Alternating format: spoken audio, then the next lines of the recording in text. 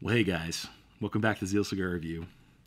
We're gonna take it down a notch, and then we're gonna take it up a notch because we're talking about the top five Christmas movies that shouldn't be Christmas movies according to everybody else out there in the culture. And I bet you can guess what my number one is. All next on the Zeal Cigar Review.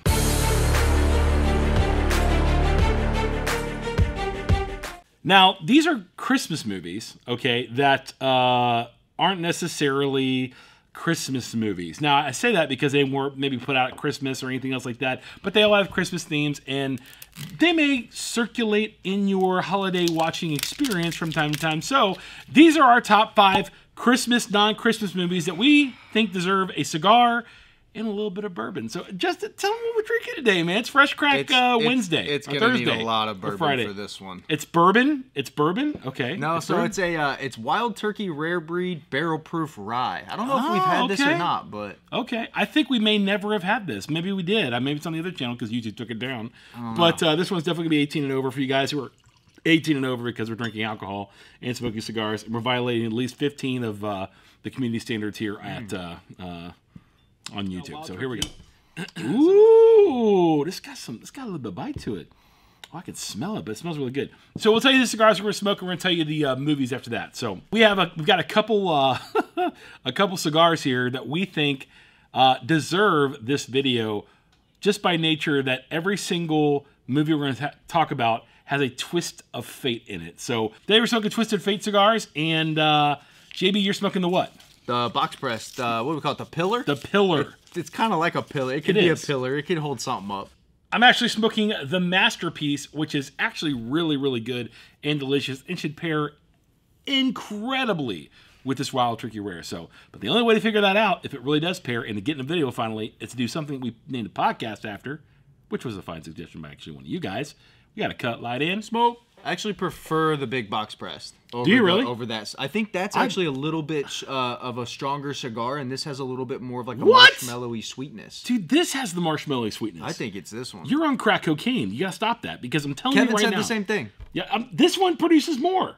It no, does. no, that this had more sweetness. Kevin has no idea what he's talking about. I'm telling you this right saying. now. I'm telling you this right now. That's two v one right now. Okay, I'm telling you right now. If you've had the Twisted Fate masterpiece or the Pillar, tell us in the comment section which one produces this more sweet flavor.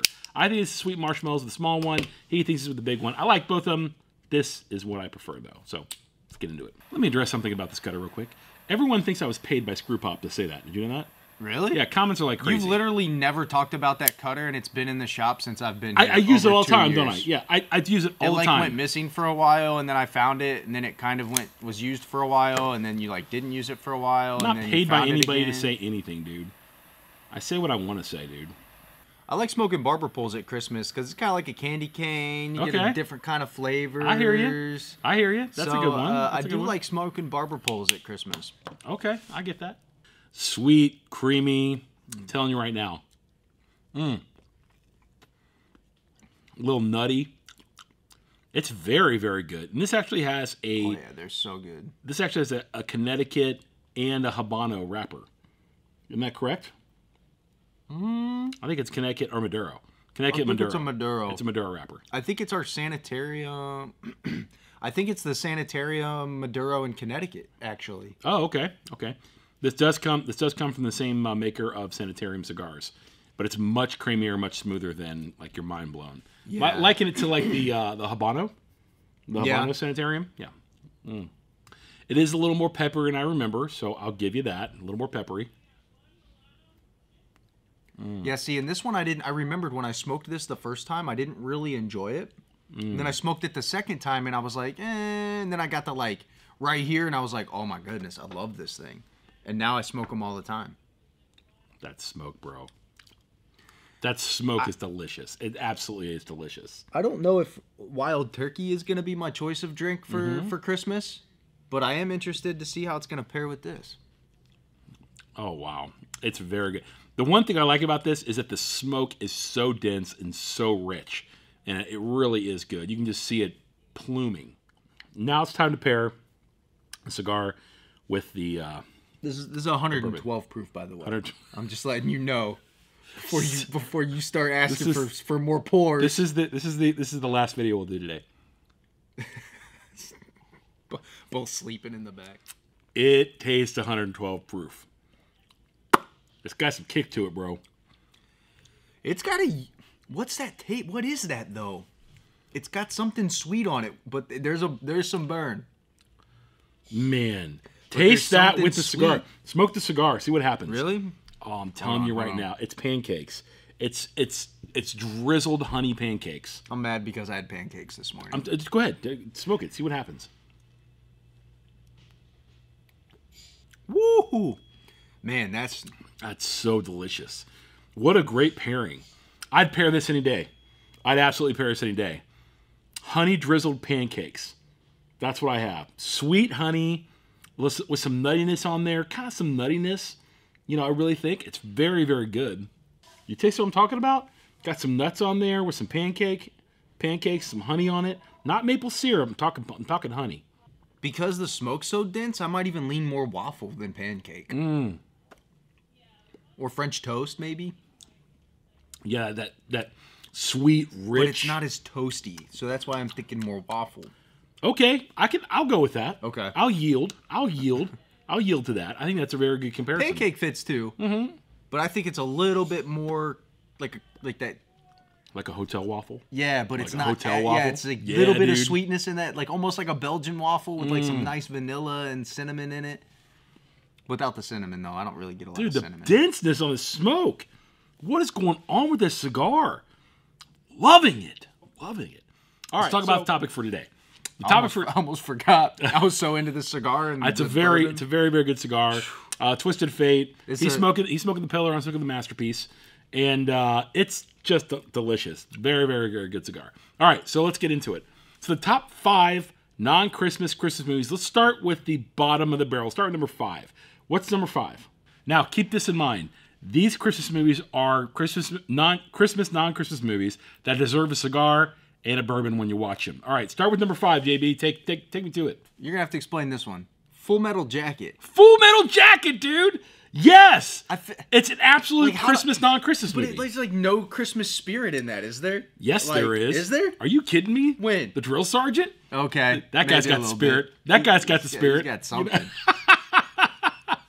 Yeah. So uh, one of the reasons that comes up continually on list as a Christmas non-Christmas movie is like the second part of the movie. The first part of the movie is all boot camp. If you've seen it, the second part of the movie is during the Tet Offensive. It takes takes place in the Vietnam War Okay. during Tet Offensive, which happened during Christmas. Okay. Yeah, yeah. And so uh, essentially, the North Viet- Vietnamese uh, who were warned against, uh, they broke the treaty. They broke they broke the peace. Oh, And they, they attacked us, you know, during Tet, which is their you know our Christmas time, their holiday. So uh, all that said, that's the and my and you know the reason I know that my dad was over in Vietnam, and you know it's just one of those things that I I remember seeing in the movie, and the Christmas stuff was up and everything like that. But uh, other than that, that's just kind of the only thing. So of all everything in the list, that's kind of at the very bottom of the list because uh, it happened. You know, the second part of the movie happened during the Tet Offensive, and uh, it- it's a crazy, crazy great movie. Other than that, it's great. It's the only movie my dad ever watched and said that's more like I remember the Marines being like, you know, when he had to go through Marine boot camp after going through Naval boot camp because he's a corpsman.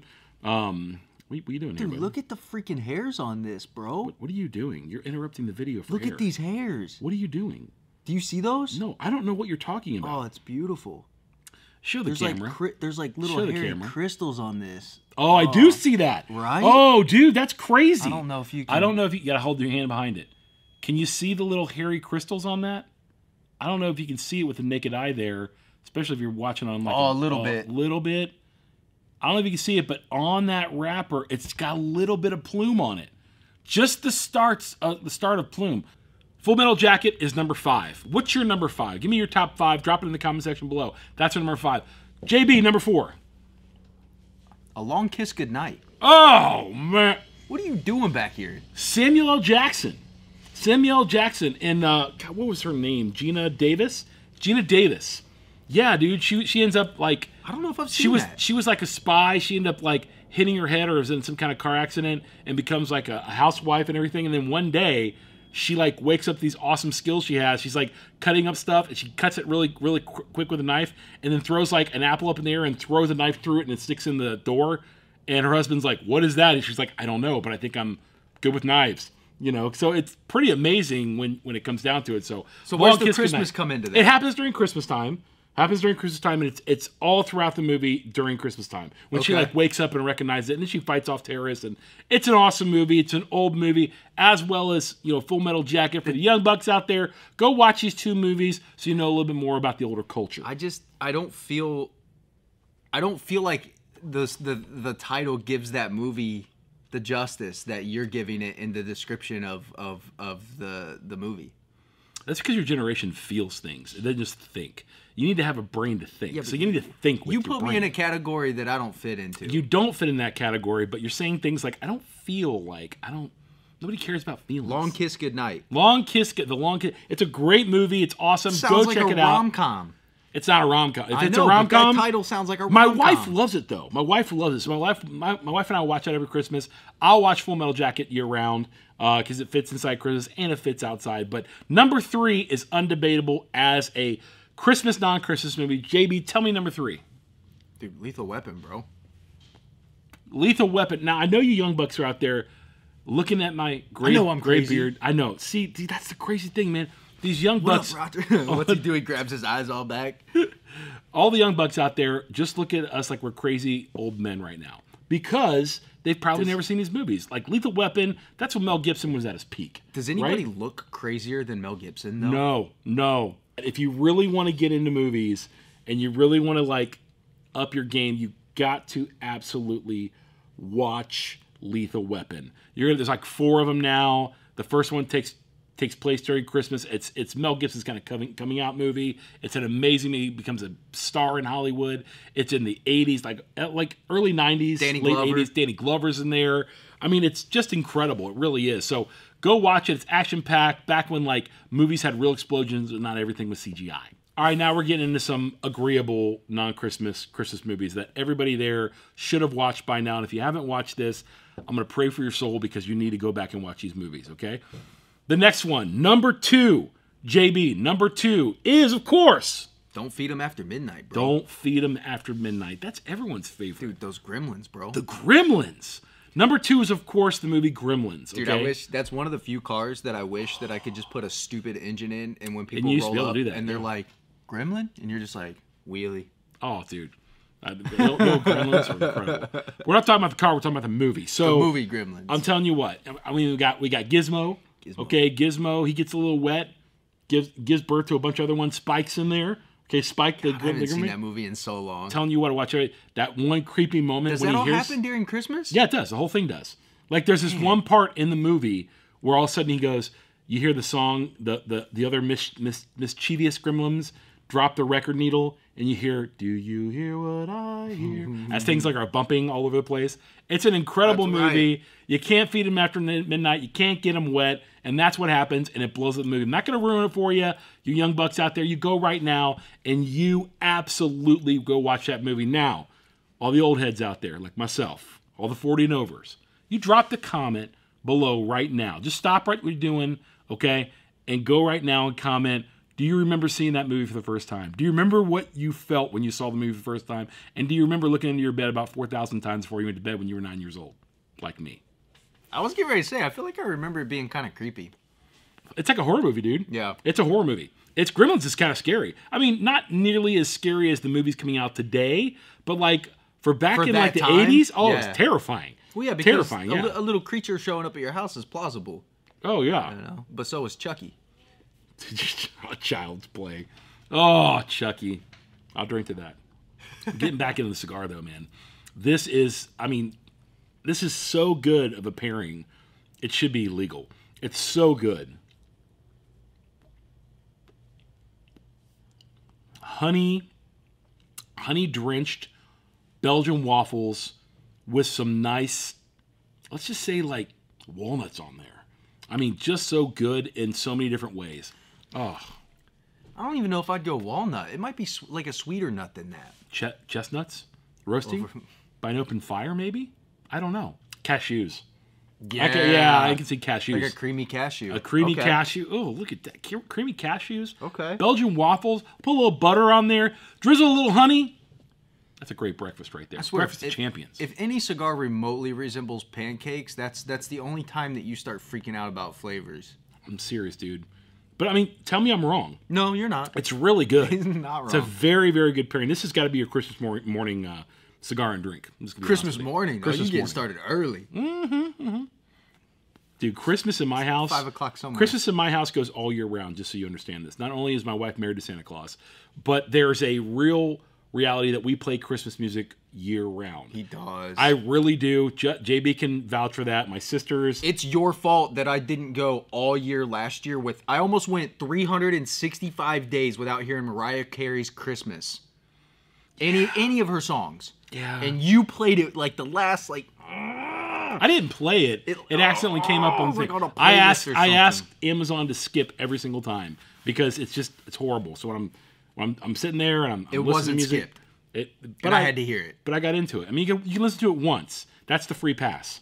I mean, the man card is you know a little bit malleable at that point, but I mean, you can listen to it once. Apparently, Once. it's that's a thing in in the UK. Yeah? there's a song in the UK that they try to dodge, and everybody tries to not listen to during the Christmas season. I forget what it is, but it's similar to Mariah Carey's. that and that one by George Michael. Last Christmas, gave you my. That's the. Mariah Carey one. No, that's not Mariah Carey. Mar- Mariah Carey is all I want for Christmas is you. Doesn't See? she do Last Christmas? no, too? that's George Michael. somebody else does it.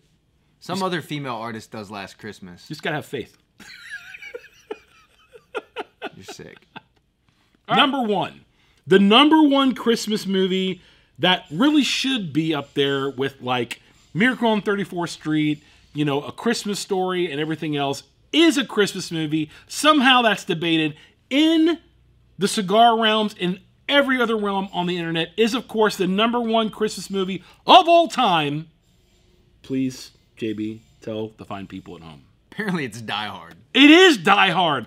The number one Christmas movie of all time is, of course, Die Hard. It's a great movie, Christmas through and through. John McClane is defending Christmas against the terrorists taking it away, Hans Gruber, right? That's essentially the whole movie right there. That's the whole movie. They want to steal Christmas. They want to steal holiday cheer from just the Nakatomi Tower. I mean, People are in there just having a great time, enjoying Christmas party like they are. They're celebrating Jesus' birth. There's nothing going wrong. All is right with the world. And what happens with Hans Gruber? He comes in, stirs up the hornet's nest, and Bruce Willis answers the call. He basically is Jesus in that movie, saving the world from their sins. Name me another metaphor that is more biblical than that. That might be a little off. that might be just a little bit off. I mean, I'm just saying that you know, there's there's a little bit of you know that's not really correct theology, but you know, it's for the sake of humor. We'll go ahead and go go with it. But tell me about what you. you I got a I got a bonus one. okay, go, go your bonus. You give me your give me your bonus. I'll give you my bonus. Okay, we agreed on these five, but now we're at JB's bonus. bonus. All right, here we go. Nightmare Before Christmas. Oh yeah, I, I've I've heard people like Because it's like, I mean, it is kind. I mean, it's based around Christmas, but it's like a Halloween. Halloween This is movie. Halloween. Yeah, right? that is true. Nightmare. Before- That's a that when that came out. It came out a long time ago, dude. Freaking long time, dude. Bruh. They made that out of clay. Yeah, and it was it was creepy when it came out. It, it still is. A little it- bit it's creepy. it's pretty creepy, Mr. right? Oogie Boogie Man. Bro. I know, dude. I mean, it's it's it's a little. I mean, I don't say that's a kids movie. I didn't let my kids watch that till they were teenagers. Yeah, Really? Yeah, it was kind of creepy. That and my my kids watch this movie called Coraline. Coraline. Oh, yeah, it was uh, really it's, it's- creepy. it's Tim Burton. Is it Yeah, really? it's still. I think that was Tim Burton as well. they got they got really freaked out over that movie as well. And I, I never saw it. Is it scary? Is it scary? Have you seen it? I have not seen it. No. Yeah, I've not seen it. My kids freak out over it though.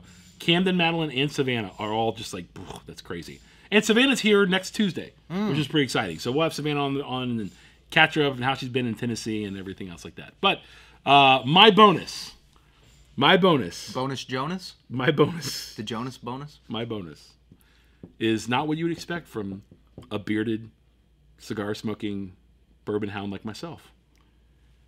Every Christmas, because I have two daughters and the women outweigh the men, you know, in my house, three to two. Sometimes we just gotta let it go. We gotta let it go. We we we just have to let it go. So Frozen. Frozen is my bonus one. If you have daughters like me and you love your daughters, you're gonna take one for the team, sit down in front of television, and you will be singing "Let It Go." Your daughters weren't Let that it young when go. that yeah, they was. out. Yeah, they were. Yeah, when they came out, yeah, they were both like I think Savannah was in junior high and Madeline was in uh, middle school. That has not right. been out that long. Yes, it has, dude. It's a it's an old movie. At most four years. Go look at it. Go look at it right now. I'm going to tell you right now. Go look at it. I'm going to show you right now why I am the best dad in the entire world. Now, take one on the chin to watch that dumb movie Frozen with my girls. And I'll get choked up every time. So, but it's because I love my little girls. What would it come out, bro? 2013. 2013, right? So 10 years ago. Yeah, that's Holy a long time ago. Yeah, It came yeah. out Madeline- 10 years ago? So Savannah was 12. all right, and Madeline was like what? I mean, eight. Did not know that, that was point. 12 years ago. Right? Told you, bro. That's a long time ago. If you're dad like me and you got girls, you take one for the team and you go watch some chick flicks. Frozen is your bonus chick flick from myself to you. So I totally thought that was at least five years further from that. Like 2019, 2018, it's an old movie. 2013. It's an wow. old movie, dude. It's an old movie, dude. Hmm. So I mean, ten year olds now rediscovering it, you know, and it came Yeah, out so when they were who's the millennial now? Yeah, I'm right. so here we go. What are your favorite Christmas, non Christmas movies? Drop them in the comment below. And have you had the Twisted Fate masterpiece or pillar? JB, tell me how that thing's turning out for you. Are you still on your waffle kick or is it transitioning into something else for you? There's something in this bourbon that I'm trying to find, and I can't find it. I don't know what it is, but it's so good. But it's a heavy hitter. Um, Okay. this thing though, Ooh, so good. I mean, the the bourbon with the cigar together. I'm telling you what, it's like you went to a hotel, you had a great night's sleep, you slept like a baby. You get up in the morning and you go down to the the, the free breakfast, and they have waffles pre-made for you, and they're Belgian and they're fluffy and they're awesome. Then they're drizzled with honey, and they've got some really nice cashews crushed up over it with some butter, and they just drizzle some more honey over that butter, and then you eat it, and it's the most satisfying breakfast you ever had. That's what it's like to smoke this and drink this together. That's my thought. it's just so creamy, man. Yep. Just like a, a fluffy marsh, like a marshmallow, like that marshmallow fluff that you put on your peanut butter sandwich. Okay, I can go with that. Marshmallow fluff. Yeah. Marshmallow fluff. So here's my thought for you guys. Oh, sorry, I'm, I stopped. I've never put the marshmallow fluff on a waffle, but I kind of want to now. I think what we're gonna do. So this is what happens every every Christmas. Let's tell them our tradition. We have traditions now. You We've do? been- yeah, We you do. you, we do. We do? We what do we do every Christmas Eve, JB? What do we do? Christmas Eve. Christmas Eve at Zeal. There's only two people working here at Zeal. Oh, yeah. At Christmas Eve. Who's that? That's you and me. Me and you. And what do we do? We get here early. Yeah. It's like it's like our Christmas. We celebrate Christmas together. La- last year, I think I streamed. you did. Okay. So what do we streamed, do? We Tell them what we do. We streamed Call of Duty. Tell them what we do. Tell them what we do. Dude, we game, bro. Yeah, we do. Goof off. We're gonna game and goof off. So he's gonna set up back here. I'll set up in front, or vice versa. And we lock the door for a little bit. We get here early. We open up. We're only open for like what four hours or something like that. And uh, it's great. So we game. But this year, what I say we do is we make a video and we go live with everybody, and we have waffles with marshmallow and everything else on it. And then we tr- smoke the cigar with it and see how it actually pairs with the cigar. What do you think? I think it's a great idea. Hey, we can do it. Waffles it is. So stay tuned for the Christmas Eve version of this cigar and this bourbon in waffle form. With that said, guys, we're out of here like last year. Peace.